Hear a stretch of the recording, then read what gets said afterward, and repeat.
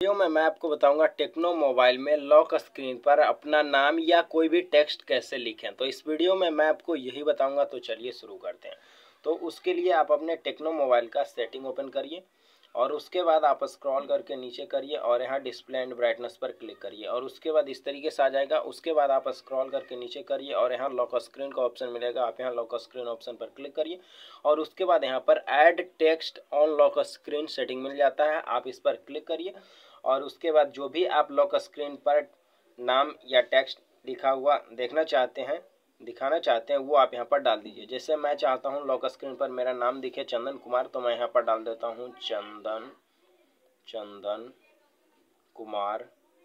तो मैं यहाँ पर डाल दिया चंदन कुमार, और डालने के बाद आप यहाँ सेव के ऑप्शन पर क्लिक कर दीजिए।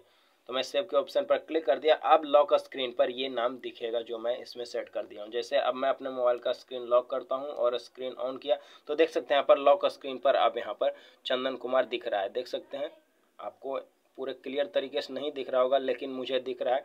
यहाँ पर लॉक स्क्रीन पर देख सकते हैं, चंदन कुमार लिखा हुआ दिख रहा है। तो इस तरीके से आप भी लॉक स्क्रीन पर अपना नाम या कोई भी टेक्स्ट को आप सेट कर सकते